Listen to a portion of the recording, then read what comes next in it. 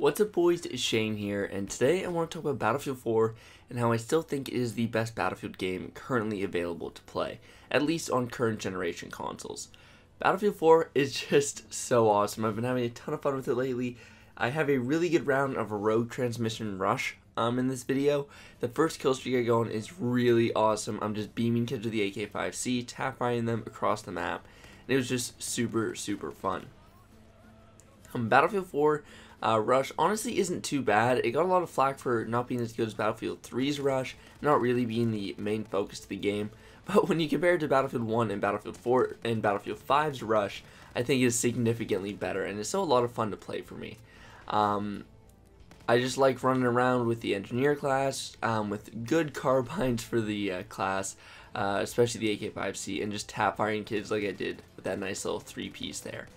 Um, yeah, I just want to sort of talk about um, Battlefield 4 and how I'm enjoying it. Um, I really hope that the next Battlefield game we get is somewhat similar to this game, um, just in the fact that it'll have a ton of weapons at launch, a ton of content at launch, and then we'll continue with even more content afterwards. This game has like 30 plus maps, like 150 guns, and even six years later, there's really you don't really run out of things to do on this game, which is just super awesome.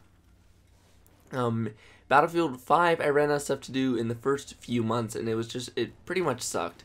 Um, it was just unfortunate that there wasn't that much content at launch. Now the game is getting quite a bit better, and there's uh, more content coming to it, um, but I still am not really fully invested in the game. Like, I played here and there, and I have some fun when I do, but I'm not, like, grinding the game like I did with Battlefield 4, and even Battlefield 1 at launch.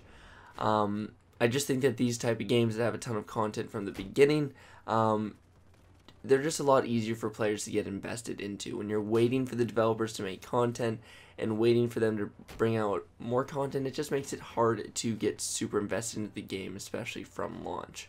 and right here in this part, I'm literally just getting assist after assist, but it was still pretty good. And yeah, I just I honestly like this map a lot for Rush. Um, because there is a lot of cover even though it is a big map and the way they made the uh, sort of MCOM stacker along the map they didn't really put it along too many open areas.